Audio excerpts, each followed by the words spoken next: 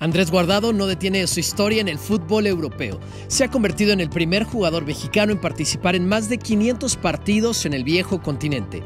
No solo eso, sino que actualmente con el Betis a los 35 años juega con la energía de un novato y se ha ganado el respeto de su afición. Los números de Guardado son de gente mayor. 292 partidos en la Liga de España distribuidos entre el Deportivo La Coruña, Valencia y Betis, 36 en la segunda división en este mismo país, cuatro partidos en la Bundesliga, su nota más baja fue con el Leverkusen, 85 juegos de Eredivisie con el PSV Eindhoven, con los que obtuvo sus dos títulos.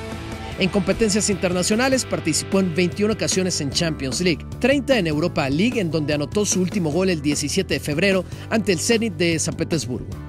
En los torneos caseros suma 33 en la Copa del Rey, 1 en Copa Alemana, 2 de Supercopa de Países Bajos, 5 de Copa de Países Bajos y 2 juegos de fase previa de Europa League. Todo comenzó en el 2007 cuando un joven Andrés Guardado con 21 años brincó el Océano Atlántico para recaer en La Coruña, equipo con el que pasó 5 años hasta emigrar al Valencia, con un paso intermitente en el Bayer Leverkusen.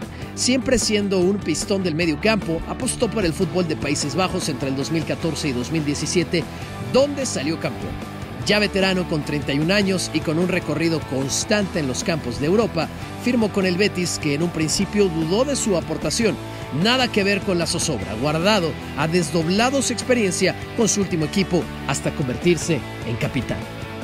Recuerda suscribirte a nuestro canal y ver los videos que tenemos para ti.